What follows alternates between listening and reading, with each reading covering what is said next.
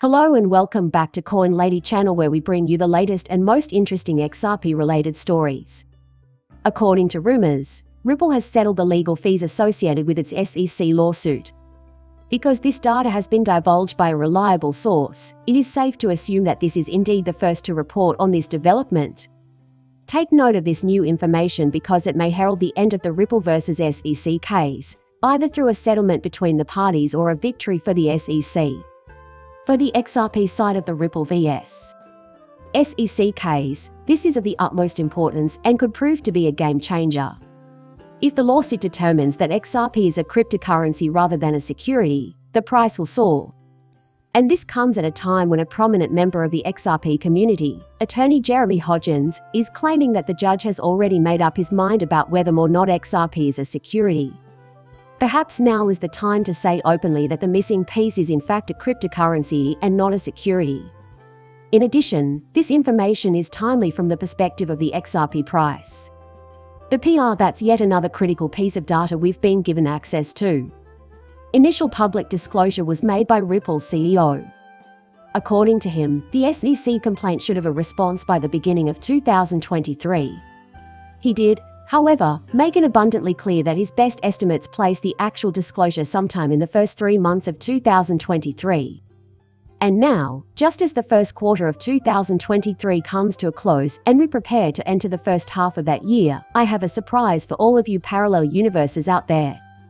When taken together with the recent tweet by XRP Captain suggesting that the Ripple versus the litigation could conclude by the 31 cent of March 2023 diamond hands, this strongly suggests that a settlement is imminent in the Ripple SEC lawsuit based on the words of the Ripple CEO.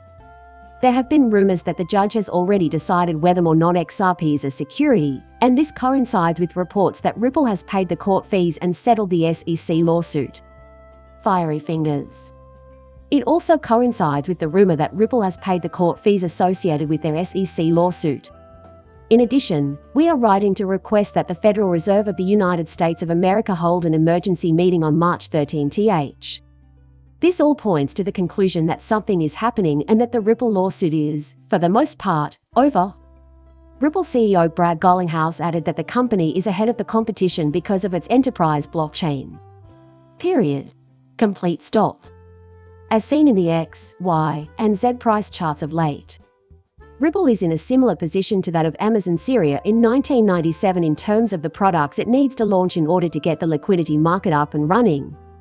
Cross-border payments are just the beginning product to get the liquidity market started in the recent X3 price increase, and Ripple is in a position where I compare it to Amazon Syria in 1997 books.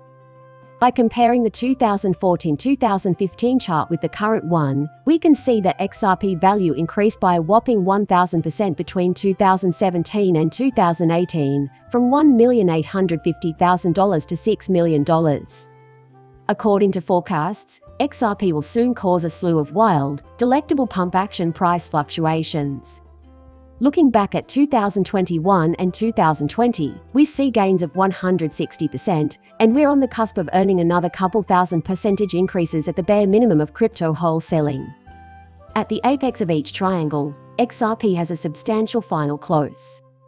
Will things be different this time around? You can share your predictions for the price of XRP during its next anticipated market spike in the space provided below. A second lawyer, John Deaton, who represents 75,000 XRP holders, has also confirmed that they agree with Ripple. CEO Brad Garlinghouse has hinted that cryptocurrencies in general, and XRP in particular, may be the solution to the current crisis in the US banking system. Is it my imagination, or did the CEO of Ripple just say that the US banking system urgently needs new, disruptive technology? This was a tweet from Brad Garlinghouse discussing the possibility of Silicon Valley Bank going bankrupt. He says it's ironic that while some businesses are rushing to make payroll highlights, criminals are breaking into our financial system and stealing from our wires, neither of which are always up and running. Because of the resistance to the flow of money within a deep chasm sown by rumors, the structure collapsed. Most recent estimates place the number of people who own XRP at just 4,761, making up only 0.27% of the global population. Just try to fathom the fact that even if every man had invested in XRP, he would only have 12.8 times as much as he does now. To illustrate, suppose there were 7.8 billion people in the world today.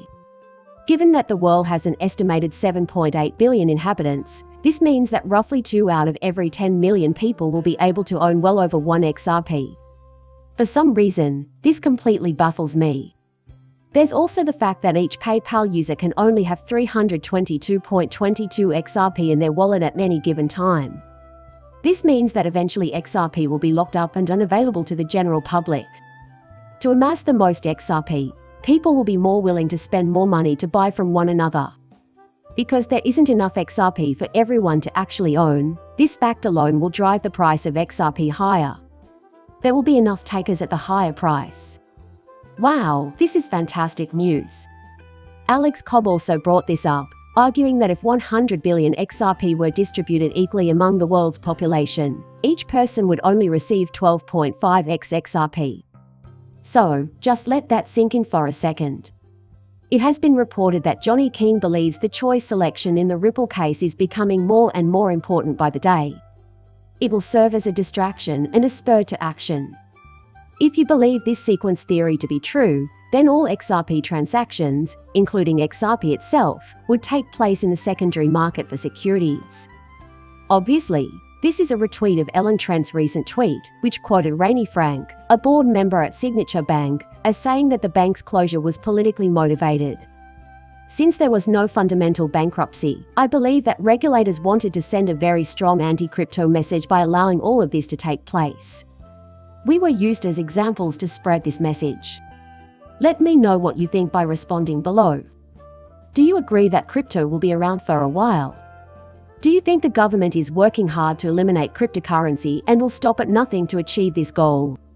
Do you think, for instance, that the government will try to eradicate cryptocurrency by doing everything possible as a security measure or by closing banks that help and assist in invading the cryptocurrency industry?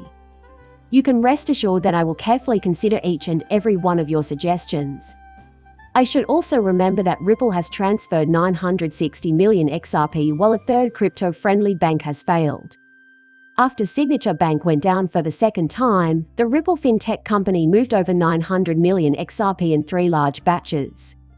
The insanity of it all is that these three financial institutions are not a handful of obscure local institutions.